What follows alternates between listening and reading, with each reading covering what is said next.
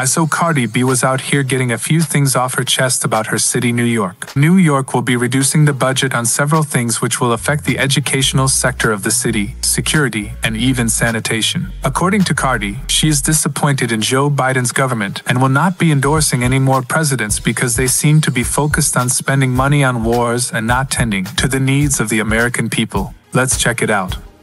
I need y'all to spread this video. And if something happens to me, is because I'm speaking truth. So God forbid something happens to me or my family or some shit is because the niggas is after me because I'm speaking the truth. And here's the truth, right? In New York, there is a 120 million budget cut. There's a 120 million budget cut in New York that is going to affect schools, public libraries, and um the police department. Y'all know I don't give a fuck about the cops, but like it is what it is. There's gonna be an 120 million dollar budget cut with schools, with the libraries, and the cops and the police department, and a five million dollar budget cut in sanitation. Of a budget cut in sanitation, bitch, we're gonna be drowning with rats.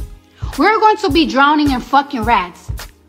So we are going to be having a budget cut on these shits. Mind you, this is why I said I'm not, this is why I'm telling y'all, I'm not this year. Don't fucking ask me. I don't give a fuck the resume that they send. I don't give a fuck. I'm not endorsing no fucking presidents no more. Cause how is there a hundred hundred million dollar budget cut in New York City for for um fucking schools, library, uh police safety, and sanitation. Yeah, Joe Biden's talking about like, yeah, we could fund two wars. We could fund two wars. Motherfuckers talking about we don't got it, but we got it. Like we're the greatest nation. No, the fuck we're not. We're going through some shit right now. Like say it, say it. We really going through. Uh, we, we we really really really really really really really really really are fucked right now.